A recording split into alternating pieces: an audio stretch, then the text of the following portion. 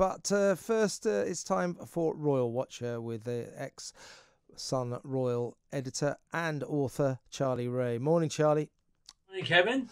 Uh, well, uh, we want to talk about Meghan's uh, legal wrangles, uh, which she seems to be enmeshed in constantly on a 24 7 basis, in a second. But suddenly, Prince Harry has uh, turned up, declaring war on Silicon Valley, uh, telling high tech titans that they should be motivated by well being and not just financial incentive. He can talk. Uh, and uh, uh, having a go at social media, blaming yep. social media for the US Capitol riot uh, when that mob uh, attacked the seat of democracy in America, and for the destruction of the rainforest.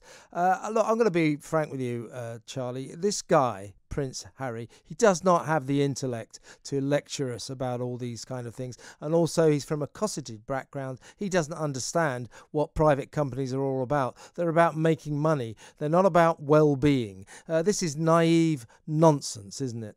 It is naive nonsense, and and you know, for him to say that it's social media that was behind the riots at Capitol Hill is patently ridiculous.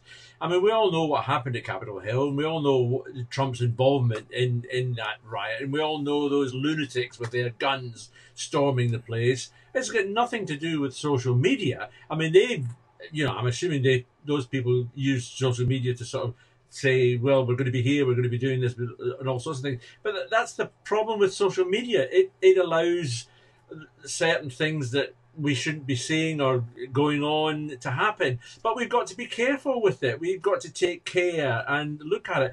But you know, Harry and Meghan have decided they don't want to be on social media. Well, fine, go away. Just stop talking about it then. I'm really not interested in what he says about it. You know. It's well, I tell you, I'll tell you, uh, you know, they talk about the pernicious and toxic effect yeah. of social media, as you say, you know, or as Harry implies that they think it stirs up all sorts of social trouble, is negative, uh, and is all about making money. Uh, whereas, of course, Harry and Meghan, they're not about making money at all. um, uh, but, uh, you know, the real reason these two have come off social media is not because of any of that, if you ask me. It's because they got a hard time on social media. Loads and loads of people uh, gave them short shrift and told them what they th- thought about their grubby little money making venture in California. And they didn't like it. They don't like being called names, do they? That's what it no, amounts to. They no, want they to be adored and they cannot take criticism. But to be to be fair, I, I mean, like all of it, we've all suffered from from uh, lunatics on social media. You have, and I have. Oh, yeah. well, certainly nowhere as near as, as bad as they. They've had some particularly really nasty things said to them and about them on social media.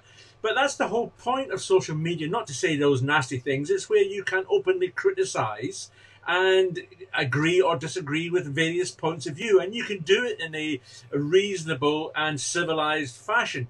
Um, you know, I don't know what Harry wants, uh, you know, anymore. He's come off social media.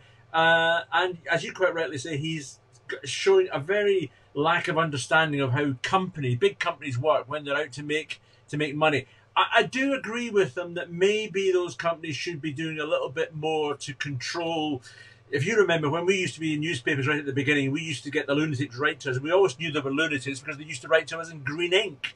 Well, now, now they're now, now they're doing it on social media, yeah. uh, and we need to. It was easy for us in those days. We just took the letter and threw it in the bin. Well, there needs to be some sort of throwing in the technological bin somewhere or other with with these type of people. Yeah, and uh, you know, to be honest with you, they should grow up.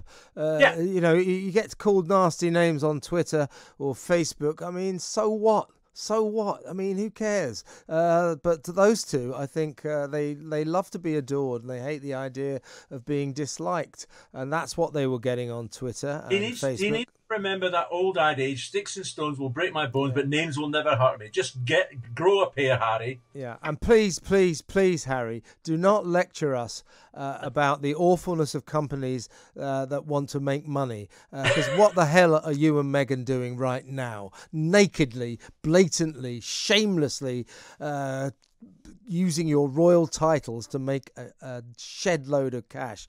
You know, it really is hypocrisy at its worst. Uh, and it's, it's interesting, uh, Kevin, just on that you know, one of the things about members of the royal family is that they don't get embroiled in these sort of controversies. You know, and Harry has now broken away and he's getting himself embroiled in practically every controversy that's going. You know, you would never get the Queen or Prince uh, Charles or Prince William, you know, making comments about what happened at Capitol Hill. It, it just would not happen. Yeah. Uh, last uh, I heard, Spotify and Netflix uh, were pretty much digital companies uh, yeah. based in uh, uh, Silicon Valley, and uh, uh, they don't mind uh, taking a bit of money uh, from those companies, do they? Nope. to the tune of, to the tune of about 140 million dollars. So do not lecture us about making money and the awfulness of that, Harry, when you are nakedly and blatantly and shamelessly making money out of digital companies. It really is hypocritical, and uh, I've had enough of it, to be honest with you. Let's uh, move back across this side of the Atlantic, and Meghan's eternal ongoing legal wrangle angles. Uh, this week, she was in court, or her lawyers were in court in, in Britain, in London, uh, arguing that her case, her privacy case, uh, she says the Mail on Sunday invaded her privacy by publishing a letter from her dad, Thomas Markle, uh, and that it's an open and shut case. It doesn't need to go to court. Uh, they just need to find in favour of her. the judge is uh, making his decision on that, but I suspect that if he decided, yes, I'll award this case to Meghan, uh, then the Mail on Sunday would immediately appeal very, very angrily, and he knows that. Uh, yeah. So the, her contention that she had her privacy invaded by the Mail on Sunday. It has to be heard in court, doesn't it? It cannot be summarily closed down in the manner that she would like.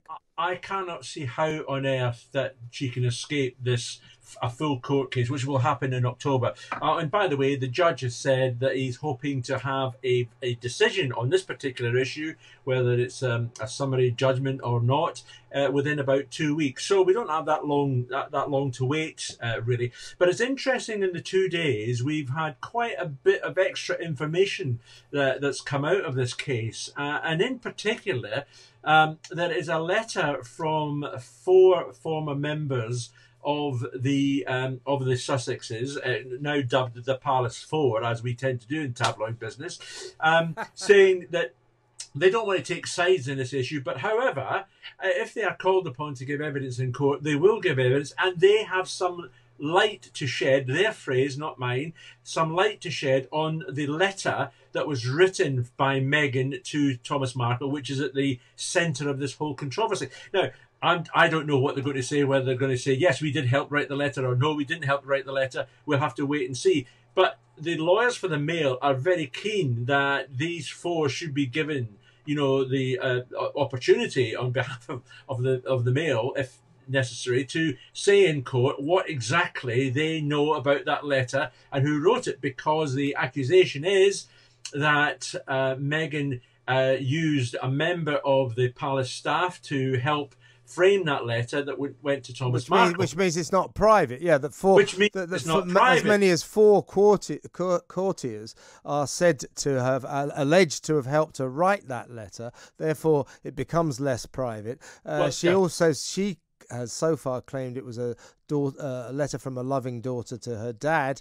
Uh, her dad is going to shoot that down, I suspect, in a well, documentary he, he, he's planning to make. Well, he's also said in in his affidavit to the Mail on Sunday that in the letter she never once said that he uh, that she loved him. And the reason why uh, he's gone to the Mail on Sunday with that letter is, let's not forget, is that five anonymous friends went to People magazine to basically pour a bucket load over him. And so he was not a happy bunny and then released that, re- released that letter. So it cannot be private. And of course, you've got the issue of whether she cooperated with Omid Scobie and Carolyn Durand on finding freedom. Uh, but she, she said, said she didn't and then changed her mind but then changed her mind because she has given one of her friends permission to speak to Omid Scobie and Carolyn Durand. So we've got all these great issues in the background that's going on. So it's going to be very interesting for Mr. Justice Warby to, you know, decide what to do. You know, people like you and I will be keeping our fingers crossed that we have a whole court case, Mitty. Well, I think we will, Charlie. I mean, you know, whatever she says, uh, droning on about privacy, uh, she loves to be centre stage, and she should get ready to be centre stage in a London court in October. That case, uh, I think, is going to happen. I don't think her, yep, her bid to, to close this case down is going to be successful. Uh, but uh, we await that decision with bated breath. As always, another fantastic Royal Report. Thank you so much, Charlie. That's Charlie Rae, uh, former Sun Royal editor and Royal author. I'm Kevin O'Sullivan, and this is Talk Radio.